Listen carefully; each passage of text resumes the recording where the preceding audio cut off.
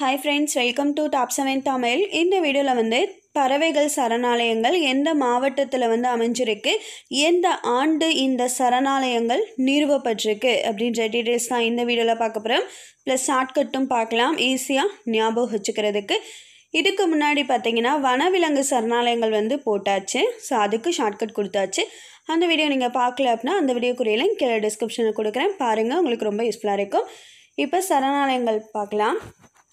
First பார்த்தீங்கன்னா வேட்டங்குடி பறவைகள் சரணாலயம். இது எங்கே இருக்குன்னா சிவகங்கை மாவட்டத்தில் வந்து இருக்குது எந்த ஆண்டு நிறுவப்பட்டதுன்னு பார்த்தீங்கன்னா ஆயிரத்தி தொள்ளாயிரத்தி எழுவத்தி ஏழாம் ஆண்டு இந்த வேட்டங்குடி பறவைகள் சரணாலயம் சிவகங்கை மாவட்டத்தில் நிறுவப்பட்டது.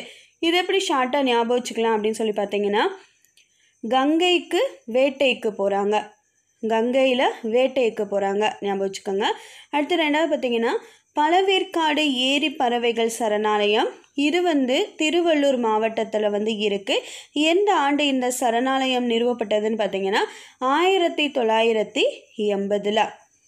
இந்த பழவேற்காடு ஏரிகள் சரணாலயம் திருவள்ளூர் மாவட்டம். இது எப்படி ஷார்ட்டாக ஞாபகம் வச்சுக்கலாம்னு சொல்லி பார்த்தீங்கன்னா திருவள்ளுவர் பல கருத்துக்களை சொல்லியிருக்காரு. அந்த மாதிரி ஞாபகம் வச்சுக்கோங்க அடுத்த மூணாவது பார்த்தீங்கன்னா கரிக்கிளி பறவைகள் சரணாலயம். இது காஞ்சிபுரம் மாவட்டத்தில் வந்து இருக்குது எந்த ஆண்டு நிறுவப்பட்டது அப்படின்னு பார்த்தீங்கன்னா ஆயிரத்தி தொள்ளாயிரத்தி எண்பத்தி ஒன்பதாம் ஆண்டு இந்த சரணாலயம் நிறுவப்பட்டது. இது எப்படி ஷார்ட்டாக ஞாபகம் வச்சுக்கலான்னு பார்த்தீங்கன்னா காஞ்சிப்பட்டு கிழிஞ்சு கரியா போச்சு. கரியா போச்சுன்னா வீணா போச்சு. அந்த மீனிங்கில் காஞ்சிப்பட்டு கிழிஞ்சு கரியா போச்சு. நாலாவது கஞ்சிரங்குளம் பறவைகள் சரணாலயம் இது வந்து ராமநாதபுரம் மாவட்டத்தில் இருக்குது இது தோற்றுவிக்கப்பட்ட ஆண்டு ஆயிரத்தி தொள்ளாயிரத்தி எண்பத்தி ஒன்பது. அடுத்து அஞ்சு சித்திரங்குடி பறவைகள் சரணாலயம் இது ராமநாதபுரம் மாவட்டத்தில் தான் இருக்குது எந்த ஆண்டு தோற்றுவிக்கப்பட்டதுன்னா ஆயிரத்தி தொள்ளாயிரத்தி எண்பத்தி ஒன்பதில். இந்த நாலாவது சரணாலயம் அஞ்சாவது சரணாலயம் சேர்த்து நம்ம ஞாபகம் வச்சுக்கலாம். எப்படின்னா சித்திர மாதத்தில் ராமருக்கு கஞ்சி கொடுப்பாங்க. அதாவது சித்திரா பௌர்ணமியில் அன்னதானம் கொடுப்பாங்க. அந்த சாப்பாடை கஞ்சின்னு இந்த இடத்துல எடுத்துக்கலாம். சித்திரை மாதத்தில் ராமருக்கு கஞ்சி கொடுப்பாங்க. இதை ஞாபகம் வச்சுக்கோங்க. அடுத்தது பார்த்திங்கன்னா ஆறு கூத்தன்குளம் கூடங்குளம் பறவைகள் சரணாலயம் திருநெல்வேலி மாவட்டத்தில் வந்து தோற்றுவிக்கப்பட்டது. எந்த ஆண்டுன்னு பார்த்தீங்கன்னா ஆயிரத்தி தொள்ளாயிரத்தி தொண்ணூற்றி நாலாம் ஆண்டு தோற்றுவிக்கப்பட்டது. ஸோ இது எப்படி ஷார்ட்டாக ஞாபகம் வச்சுக்கலான்னு பார்த்தீங்கன்னா கூத்தன் கூட்டத்துக்கு வேலையே இருக்காது. கூத்தன்னா இந்த கூத்தாடிகள் சொல்லுவாங்கள்ல பாட்டு பாடுறவங்க நடனம் ஆடுறவங்க அவங்கள தான் சொல்லுவோம். இந்த கூத்தன் கூட்டத்துக்கு வேலையே இருக்காது. ஸோ நிறையா பேர் இருப்பாங்க. அந்த மீனிங் தான். அடுத்து ஏழு பார்த்தீங்கன்னா வெள்ளோடு பறவைகள் சரணாலயம் இது வந்து ஈரோடு மாவட்டத்தில் வந்து இருக்குது எந்த ஆண்டு இந்த சரணாலயம் தோற்றுவிக்கப்பட்டதுன்னு பார்த்தீங்கன்னா ஆயிரத்தி தொள்ளாயிரத்தி தொண்ணூற்றி ஏழாம் ஆண்டு தோற்றுவிக்கப்பட்டது. இது எப்படி ஷார்ட்டாக ஞாபகம் வச்சுக்கலான்னு பார்த்தீங்கன்னா வெள்ளத்துக்கு ஈ வரும். வெள்ளத்துக்கு ஈ வரும். எட்டு வேடந்தாங்கல் பறவைகள் சரணாலயம்.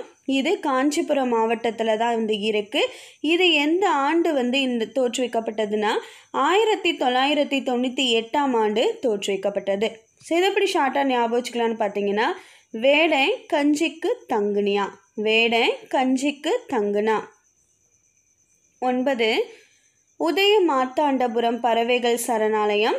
இது வந்து திருவாரூர் மாவட்டத்தில் வந்து இருக்குது எந்த ஆண்டு இந்த சரணாலயம் தோற்றுவிக்கப்பட்டதுன்னு பார்த்தீங்கன்னா ஆயிரத்தி தொள்ளாயிரத்தி தொண்ணூற்றி எட்டாம் ஆண்டு தோற்றுவிக்கப்பட்டது. ஸோ இதை எப்படி ஷார்ட்டாக ஞாபகம் வச்சுக்கலாம் அப்படின்னு சொல்லி பார்த்தீங்கன்னா திருவாரூர் தேர் தடம் புரளுது.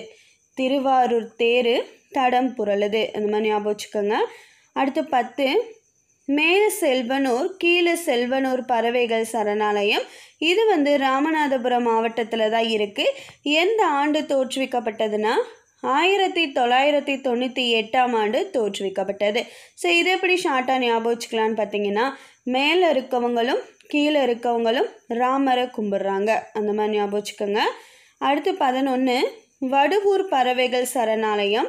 இது வந்து திருவாரூர் மாவட்டத்தில் இருக்குது எந்த ஆண்டு இந்த சரணாலயம் தோற்றுவிக்கப்பட்டதுன்னு பார்த்தீங்கன்னா ஆயிரத்தி தொள்ளாயிரத்தி தொண்ணூற்றி ஒன்பதாம் ஆண்டு தோற்றுவிக்கப்பட்டது. இது எப்படி ஞாபகம் வச்சுக்கலன்னா அதே திருவாரூர் தேர் எடுத்துக்கோங்க. திருவாரூர் தேருக்கு வடு இருக்கும். ஸோ வடுனா தடம் அடையாளம் சொல்லுவாங்கள்ல அந்த மீனிங்கில் திருவாரூர் தேருக்கு வடு இருக்கும். பன்னெண்டு காரைவெட்டி பறவைகள் சரணாலயம் வந்து அரியலூர் மாவட்டத்தில் இருக்குது இந்த சரணாலயம் எந்த ஆண்டு தோற்றுவிக்கப்பட்டதுன்னு பார்த்தீங்கன்னா ரெண்டாயிரமாம் ஆண்டு வந்து தோற்றுவிக்கப்பட்டது. ஸோ இதை எப்படி ஷார்ட்டாக ஞாபகம் வச்சுக்கலான்னு பார்த்தீங்கன்னா அரிய காரை வெட்டுறாங்க. அரிய காரை வெட்டுறாங்க. பதிமூணு தீர்த்தங்கள் பறவைகள் சரணாலயம். இது ராமநாதபுரம் மாவட்டத்தில் இருக்குது ரெண்டாயிரத்தி பத்தாம் ஆண்டு தோற்றுவிக்கப்பட்டது. அடுத்தது பதினாலு சக்கரக்கோட்டை ஏரி பறவைகள் சரணாலயம். இதுவும் ராமநாதபுரத்தில் தான் வந்து இருக்குது இது ரெண்டாயிரத்தி பன்னெண்டாம் ஆண்டு தோற்றுவிக்கப்பட்டது. இந்த பதிமூணையும் பதினாலையும் சேர்த்து ஞாபகம் வச்சுக்கோங்க ராமர் ராமநாதபுரத்தில் சக்கர தீர்த்தங்கள் வந்து கொடுக்குறாங்க. ஸோ ராமநாதபுரத்தில் சக்கர தீர்த்தங்கள் வந்து தராங்க. ராமநாதபுரம்னா தீர்த்தங்கள் தான் ஃபேமஸ்ஸு ஸோ அதை ஞாபகம் வச்சுக்கோங்க. ராமநாதபுரத்தில் சக்கர தீர்த்தங்கள் தராங்க. பதினஞ்சு. உசுடு ஏரி பறவைகள் சரணாலயம். இது வந்து விழுப்புரம் மாவட்டத்தில் இருக்குது எந்த ஆண்டு தோற்றுவிக்கப்பட்டதுன்னு பார்த்தீங்கன்னா ரெண்டாயிரத்தி பதினஞ்சாம் ஆண்டு இந்த உசுடு பறவைகள் சரணாலயம் வந்து தோற்றுவிக்கப்பட்டது.